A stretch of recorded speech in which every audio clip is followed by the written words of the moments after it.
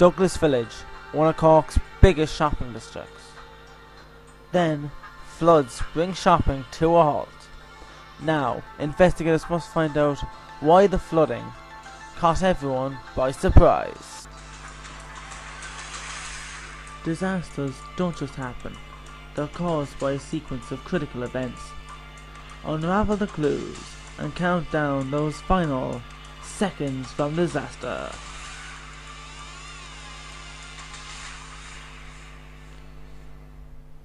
Europe, Ireland, Cork City. 130,000 people live in the city of Cork.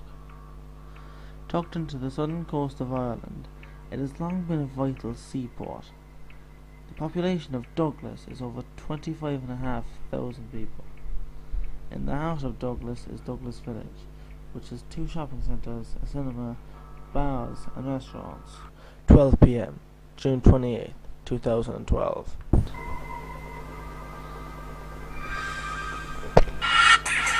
A thunderstorm develops as torrential rain continues to fall in the suburbs. Water surfaces in drain pipes. Cork has been hit by floods before. On the 9th of November 2009, just over 51 millimeters of rain fell in Cork City, causing the rivers to burst its banks, causing havoc to the city services. Damage was 44.5 million euros. 3 a.m. The rain dies down as 36 millimeters of water falls in 3 hours. Up to a meter of water has surged onto the main streets of Douglas Village, where 3,000 homes have been damaged. The water destroys the power boxes and all electricity in the area is lost.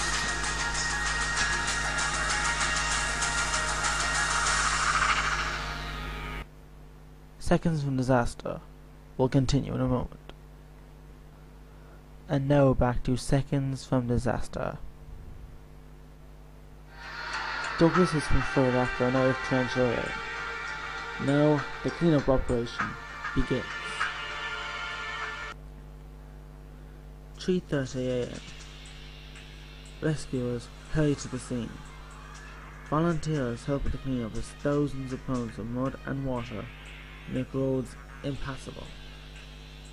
There are no serious injuries, but when rescuers enter deeper into the shopping centre, they make a shocking discovery. All the animals in the pet shop have drowned.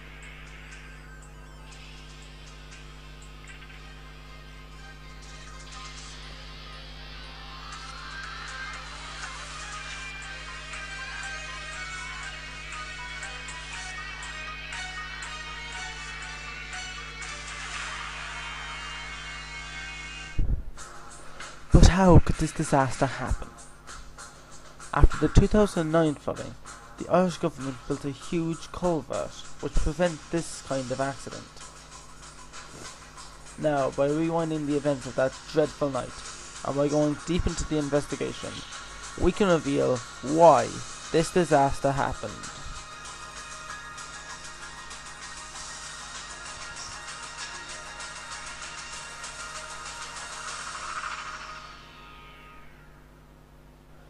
Locals in the village blame the disaster on the culvert that lies under the Douglas Village shopping centre.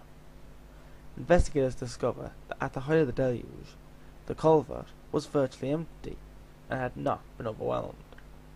The culvert worked in the way it was supposed to. So if the culvert didn't cause the disaster, what did? Seconds from disaster will return after this. We now return to seconds from disaster. Investigators are trying to discover what caused the Douglas Village floodings. Now, by going into the report, we reveal what really happened. The underground pipes under Douglas Village grew to service the booming economy during the Celtic Tiger. The result?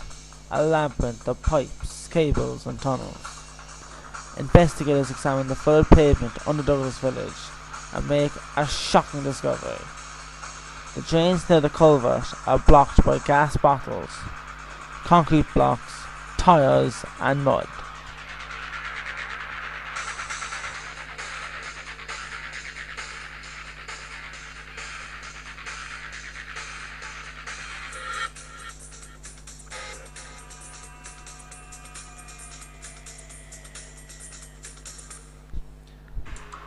Because of all the debris, the water couldn't get to the culvert fast enough. So the mud and water, looking for a way out, surfaces on the streets, causing Douglas Village to be flooded with serious consequences.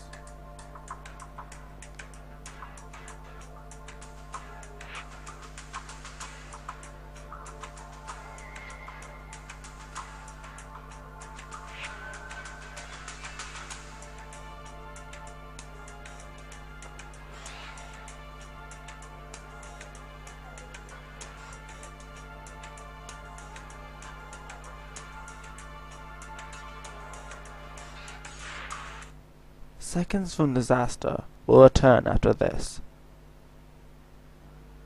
And now back to seconds from disaster. Now, by using the evidence uncovered during the investigation, we can reveal what happened to Douglas Village and why the flood left the people of Douglas seconds from disaster.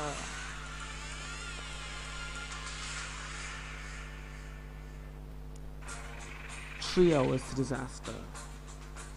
Heavy rains fill the sewers with water. Two hours to disaster. Water unable to escape through the culvert because of blocked pipes surfaces onto the streets. Disaster strikes. Water flows down from the hills around Douglas village, depositing mud all over the village.